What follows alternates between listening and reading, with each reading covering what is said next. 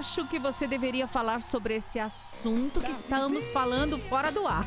Do Kaique Brito? Do Kaique Brito. Olha só, gente, o negócio é o seguinte: sabe o Dionês, o motorista de aplicativo, né? Que ali teve um problema com o Kaique Brito. Problema não, né? Ele atropelou, a culpa não foi dele. Ele socorreu, ele salvou a vida do Kaique Brito. Isso. Beleza. Kaique Brito tá fora do hospital, tá fazendo fisioterapia, tá se cuidando. E o Dionês deu uma entrevista. É, pro IG ali, até pro jornalista Cadu Brandão. E aí ele falou que ele tentou entrar em contato com a família do Kaique, tentou entrar em contato no direct do Kaique. Por quê? Porque ele quer ver o Kaique. Mas ele não obteve resposta. E ele tá achando que a parte de lá, a parte de lá, a família e o Kaique, está sendo muito fria com ele. E que ele queria dar um abraço no Kaique, né?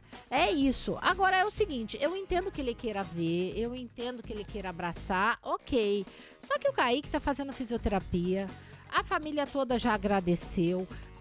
Sabe, Dionês, segue a tua vida. Já não, foi, não fica né? mais pensando nisso, É sabe? isso aí, segue a vida, porque ele também tá em recuperação. Exatamente. Tá junto da família, imagina o susto, o susto que essa família tá tentando se recuperar. É, exatamente, porque não é fácil, não é de um dia pro outro, é um trauma, tá tentando ele também. Então, segue a sua vida. Olha, você já tá de carro novo, você ajudou muita gente com a grana que você recebeu, a gente sabe disso. Ele fez tudo direitinho. Você é um cara íntegro pra Isso. caramba. Então, sabe, foca na tua vida, tá? Aconteceu, ok, tchau, tchau. Encerra o assunto. Exatamente.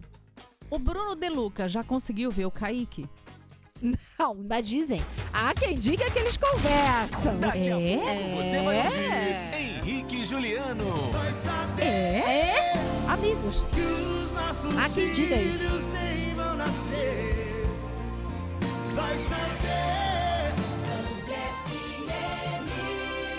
Vai ter que terminar essa fofoca já já. Sério? Pra criança, pra adulto.